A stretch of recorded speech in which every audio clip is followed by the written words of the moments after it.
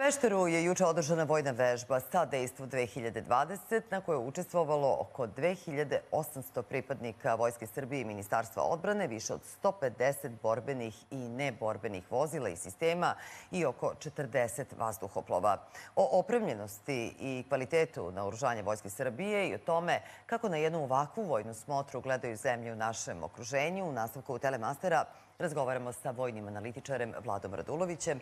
Dobroveče i dobrodošli u Telemaster. E, vi ste lično e, prisustvovali jučerašnjoj vojnoj vežbi. E, kakvi su vam utisci i šta je ono što vas je posebno impresioniralo na jučerašnjoj demonstraciji? Pa, ima tu više pozitivnih utisaka koji se odnose i na samu vežbu, ali i na sveukupno to. Ja sam bio skeptičan, kao i mnogi, pre svega zbog vremenske prognoze, kako će to biti. Međutim, sve je govorilo, sve je išlo prilog tome da će biti dan prelep i zaista je dan bio izvarendan. E, čak ne toliko ni oblačno. Bilo je oblak, ali povremeno kasnije se i ovaj, nebo potpuno razvedrilo. Tako da je fenomenalan dan bio. Da je bilo drugačije, koliko bi to uticalo na pa, izvođenje pa, vojnih vežbi? Uticalo bi u određenoj meri. Dakle, naravno da je to bilo, treba imati u vidu da se govori ipak o Peštarskoj visoravni, o velikoj nadmorskoj visini, dakle, negde oko 1000, zavisno od tačke do tačke, ali oko 1400 metara nadmorske visine. Dakle, zna to da bude prilično onako nezgodan teren, čak i do tog segmenta da bi recimo došlo do otkazivanja određenih segmenta, pre svega mislim na dejstvo iz vazduha, odnosno na ovu komponentnu ratnog vazduhoplovstva.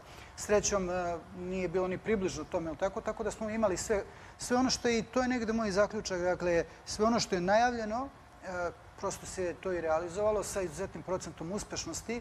E, kada kažem izuzetan procenat uspešnosti, tu pre svega mislim na dejstvo po ciljevima, dakle, e, bilo vođenim, bilo nevođenim e, naoružanjem, dakle, što bi se reklo, onako pravo u centar. I to je posebno čak i bilo i oduševljenje kod Pošto sam ja, malo sam tu bio na svim stranama i kod novinara i kod eh, vojnih izaslanika i kod eh, drugih gosti, vidim da onako to oduševljenje bilo negde podjednako. Zadovoljni su bili rezultatima. Evo, pošto vidim da upravo ide snimak sa ovaj, kao pokrivalica. Jeste, iz jučerašnje ovaj, Možete da vidite upravo da su ovaj, sve onako kako je bilo što kaže, od, od Maljutki do, do pa čak i atake sa, sa Mi-35 eh, su obavile svoj posao i dejstvo je bilo onako pravo, pravo metu, što bi se reklo. I to je negde, da kažem, pored svega ovoga. Međutim, kada kada podvučemo crtu, možda bi najbolje bilo reći, najpoštenije, da su zapravo e, posade i vojnici, dakle posade koje obslužuju ove sisteme i vojnici koji su bili na terenu. Dakle, nije samo opremljenost, već i stručnost onih koji... Apsolutno, pa džaba vam i najsavremenija tehnika. Pa, znate kako, e, čak i ovi događaji koji su ratni, odnosno oružani sukobi u Siriji, Libiji, sada vidimo na Gornom Karabahu,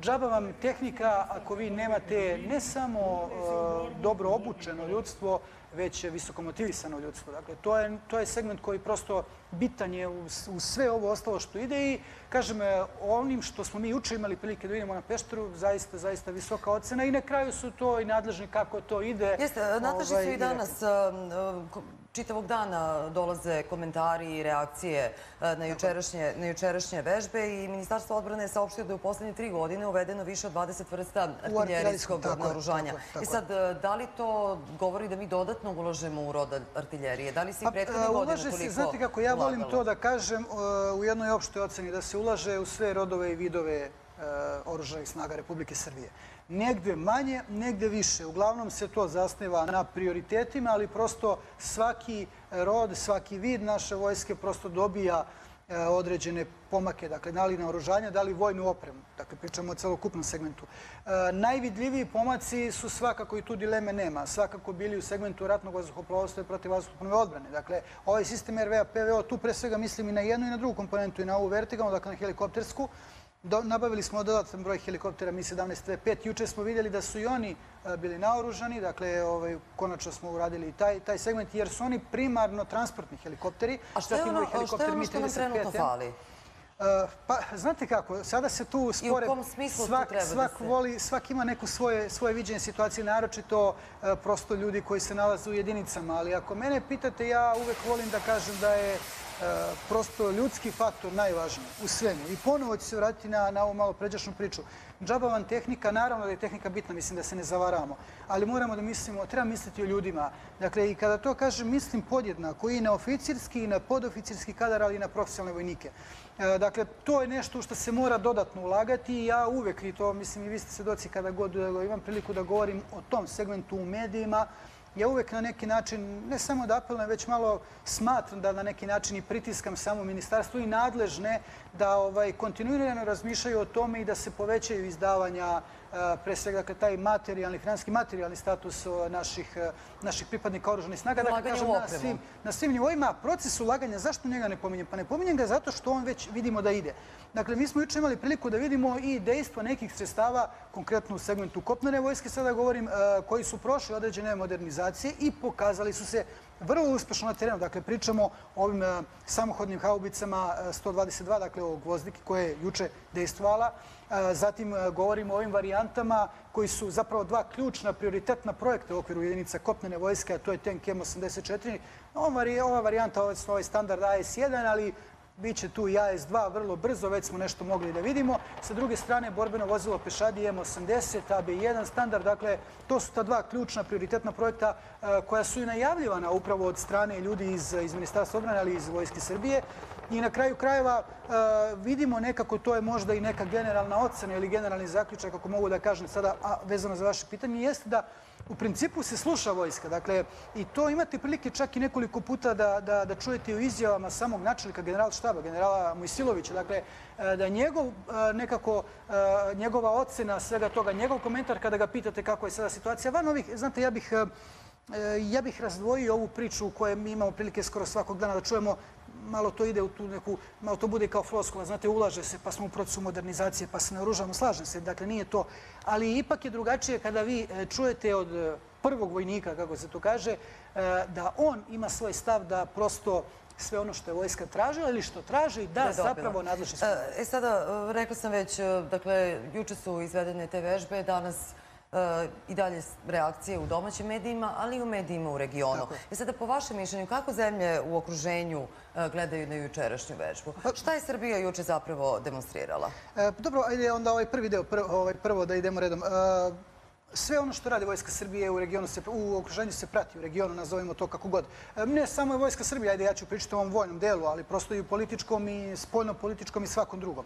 Tako da ja ne vidim, iskren da budem, dakle ne vidim neka posebna iznenađenja. Postoje određeni, recimo, eto, negde se uvraženo je to mišljenje da, da mi, da, odnosno da je Beograd i Zagreb tu, da je, postoji, ja ne prihvatam taj termin, da postoji ta neka trka u naoružanju, ali prosto nekako se... Je li to tačno ili je li to pa mediji nameću? Ja, e, ja, moj stav je da se to da se taj termin nameće e, od strane medija pre svega, ali od strane nekih koji možda nisu baš e, dovoljno materiji. Znate zašto? Zato što E, nismo niti mi, niti Hrvati, ne znam koliko razvijene oružane snage i velike oružane snage sa velikim vojnim budžetima, naročito budžetima za naoružanje, dakle za kupovinu nabavku novog naoružanja, da bismo mi sada mogli da... Svakako je odreća vest u Hrvatskoj ukoliko Srbija nabavi oružanje, isto tako i kod nas. Ne, pazite, mi moramo da razdvojimo određenu vrstu, pa ako ćemo tako da postavimo stvari, onda mi ne možemo teško i da se poredimo sa Hrvatskom, jer je Hrvatska članica NATO-a.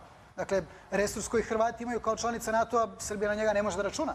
E, to Hrvatima sa druge strane omogućava da biraju u koje će segmente svojih oružanih snaga da ulažu više, da forsiraju više, jer računaju ne upravo na pojedine resurse koji imaju od drugih članica. Mi moramo da pokrivamo to sve. Srbija u bolje poziciji vodeći tu neutralnu politiku kada govorimo o naoružanju? Finansijski je naša pozicija zahtevnija, zato što mi moramo prosto u jednakoj meri da razvijamo, kao što sam, ajde sad ću ponovo da se vratim i na rodovi i na vidove. Dakle, vi to jedna podjednako morate da razvijate jer se ne nalazite u nekom kolektivnom sistemu koji bi vam to omogućio, pa biste mogli da odredite neke prioritete. Iako, iskren da budem do kraja, eh, dešavanje iz Afganistana, Iraka u proteklim, dakle, pa ide, već ćemo i decenijama, ali pre svega mislim da proteklih 15 do 20 godina pokazali su da zapravo, pa čak i pojedine vežbe e, provere sposobnosti određenih oruženih snaga, recimo Slovenija je tu dobar primjer, pokazali su kako zapravo nije dobro raditi samo sa jednim delom, a drugi deo je to tako ostaviti da, da prosto se održava. Onda imate problem sa stepenom opremljenosti,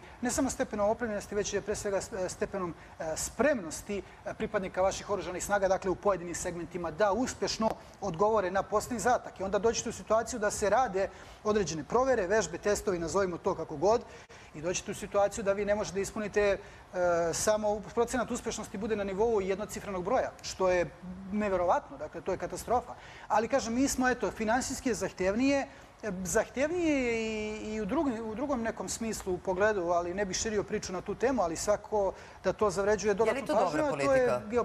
Vidite, ja također tu imam svoj stav koji ponavljam već godinama unazad. Kratkoročno politika vojne neutralnosti daje rezultate i za sad ona nama omogućava da radimo onako kako najbolje možemo. Dakle, da sarađujemo i sa istokom i sa zapadom i to je za sada dobro. Pitanje koje se postavlja jeste da li je to dugoročno drživ koncept. Ja zastupam tezu da dugoročno taj koncept je vrlo upitno koliko održiv. Zašto vam to kažem? Ali još uvek nije došlo u pitanje da se mora naravno, mi odlučiti pričamo, na koju tako je, stranu. mi, apsolutno, i to neće biti sigurno u narednim godinama. Ali, uh, pa jedan od primjera vam je recimo i ovo otkazivanje vojnih vežbi sa Belorusijom, koje su bile tradicije, dakle sa Belorusijom i Ruskom federacijom. Uh, razlog za to, je- moj stav je da, da, su, da smo bili iznud, da je taj potez sa naše strane bio iznuđen. Ali nema dileme da je on došao kao posljedica izgubio? odluke. Pa znate kako, sada je tu diskutabilno, ne bih ja tu kalkuli, mislim, ne bih dao ocenu ko je izgubio. E, možda postoji određeni problem jer smo mi suspendovali sve vojne vežbe aktivnosti, dakle, sa, odnosno pre svega vežbe sa svim e, oružanim snagama, dakle, na bilaterali sa zemljama koje su članice NATO, sa NATO-om, e, sa Ruskom federacijom, sa Kinom, sa drugim zemljama. E, I nije to samo, pro, e, nije to samo vreme od, od e, šest meseci. E, Pitanje je da li će se ovih šest meseci planirati dodatne. Znate, jer vežba se ne organizuje danas za sutra. Vežbe se organizuju i pripremaju mesecima unapred, nekada i godinu dana, zavisno od, od vežbe, koja je obima vežbe, kapaciteta vežbe, broja strana koji su zainteresovane, koje će biti učesnice, posmatrači i tako dalje.